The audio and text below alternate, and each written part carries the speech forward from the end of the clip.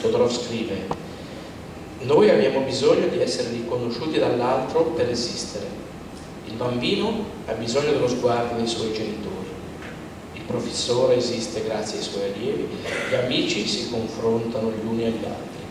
Sia che cerchiamo di essere colti come loro simili, sia come differenti da loro, gli altri ci confermano la nostra esistenza. Ogni coesistenza è un riconoscimento. Io posso allora cercare di captare lo sguardo degli altri attraverso diverse sfaccettature del mio essere, il mio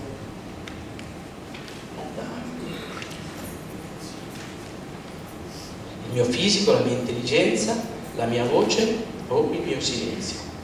Ecco, io credo che noi eh, siamo stati visti, abbiamo guardato queste persone, le abbiamo guardate come, come persone, come individui, ognuno con la sua storia e con la sua, con la sua vita e questo credo che abbia fatto bene a loro ma indirettamente abbia fatto bene anche a noi e come senso di appartenenza a una comunità e della capacità che possiamo avere insieme di partecipare e affrontare senza paura i fenomeni che attraversano i nostri tempi. Io lascio il microfono a Giulio se vuole aggiungere qualcosa eh, lo ringrazio, è stato per me comunque un piacere poter lavorare un po' qualche notte con mio fratello. Grazie.